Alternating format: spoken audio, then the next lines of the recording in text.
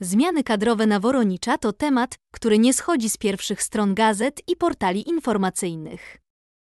Ostatnie miesiące obfitowały w zaskakujące decyzje nowego zarządu TVP, które wywołały spore poruszenie zarówno w branży medialnej, jak i wśród widzów.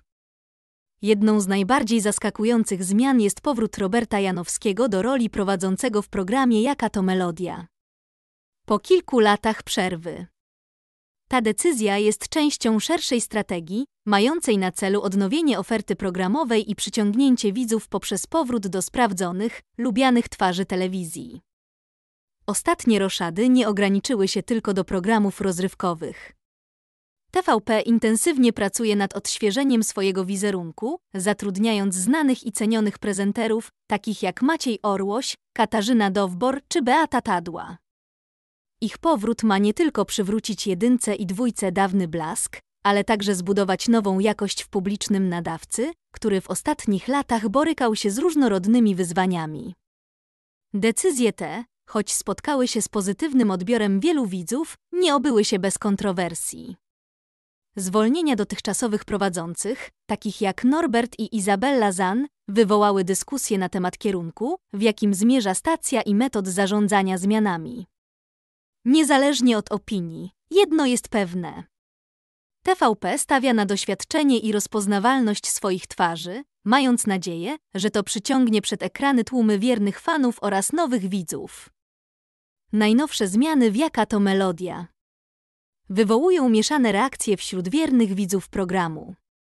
Pożegnanie z Robertem Janowskim, które do ostatniej chwili było pełne niepewności, oraz zakończenie współpracy z popularnym DJ M. Adamusem zaskoczyło fanów muzycznego show.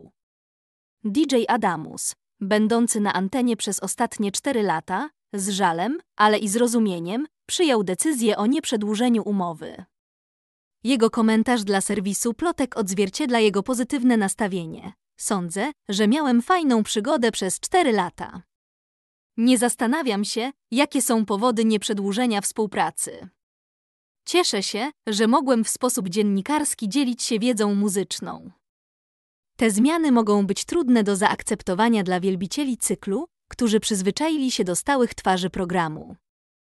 Jednak DJ Adamus nie pozostaje bez planów i od października skupi się na studiach podyplomowych, co może otworzyć przed nim nowe ścieżki kariery. Co więcej, zapewnił, że nie czuje się rozczarowany i z ciekawością obejrzy pierwszy odcinek nowej odsłony programu, życząc ekipie milionowej oglądalności.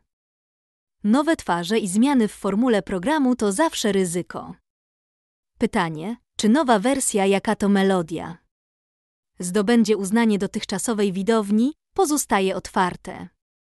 Wielu widzów może tęsknić za swoimi u, jednak świeże podejście i nowe osobowości na antenie mogą również przyciągnąć nową publiczność i zapewnić programowi świeżość oraz dynamikę, które są niezbędne do utrzymania zainteresowania w szybko zmieniającym się świecie telewizyjnej rozrywki.